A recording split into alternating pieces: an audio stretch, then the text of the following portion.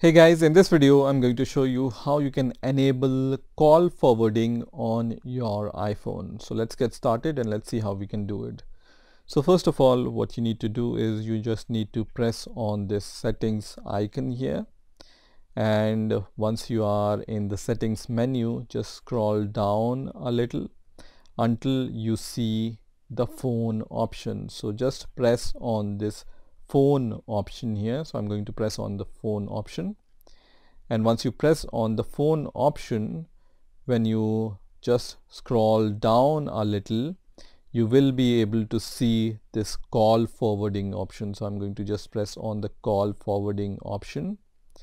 And once I press on the call forwarding option I have this toggle button here. So I can just press on this toggle button to enable call forwarding. So right now the call forwarding is enabled and I can provide the number on which I want to forward the call. So just press on this forward to option and provide the number on which you want to forward this call. And once you give that number, you can just press on back and this number will be visible here so now your calls will be forwarded to this number which you have provided and if you want to disable call forwarding you just need to toggle this toggle button once again which means your call forwarding is now disabled so this is how you can enable or disable call forwarding on your iPhone. I hope you've enjoyed this video. I will see you in the next video.